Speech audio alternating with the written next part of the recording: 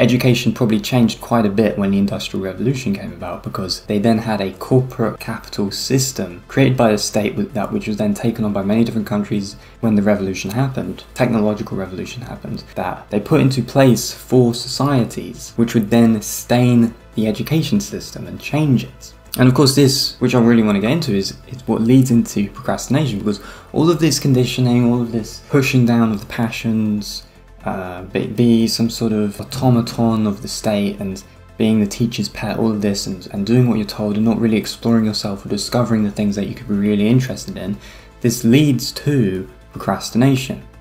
You know, because education system today, it drains the authentic life that could be you from you. It drains it away, it takes it away, it makes everything stained. It, it disinterests you into the edge, into what, in you know, to what learning truly is about. You don't want to learn anything when you're in the education system. You're bored. You find these subjects boring. But the only reason why you find these things boring is because of the way they have, the way they teach you, the way they have crafted the system.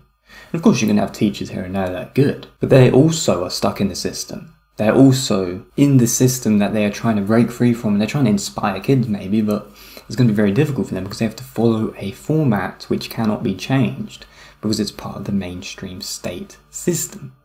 Unless they go their own way and try to be a bit more courageous and try to be self employed and build their own education system. But at the end of the day, it's to enjoy servitude, to not follow your passions. And, you know, you have to ask the question what does this do to the culture? What does this do to the culture? On a mass global level.